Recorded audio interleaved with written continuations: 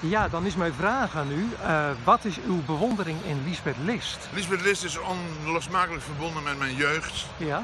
Met wat ik noem de hippieteit, de vrijheid. Het, eh, wat ik aan haar bewonder is dat ze altijd haar eigen weg heeft vervolgd. Geen compromis heeft gedaan, zelden nog nooit. En een multitalent was.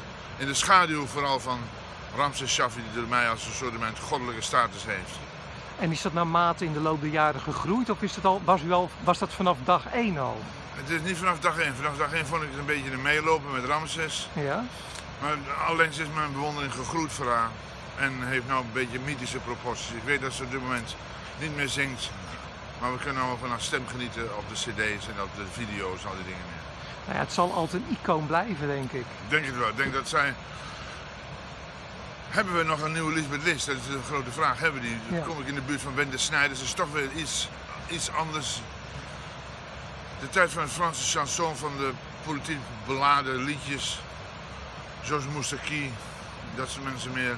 Ja, Dus eh, nee, voor mij een grote bewondering voor Lisbeth List. dank u wel. Graag gedaan.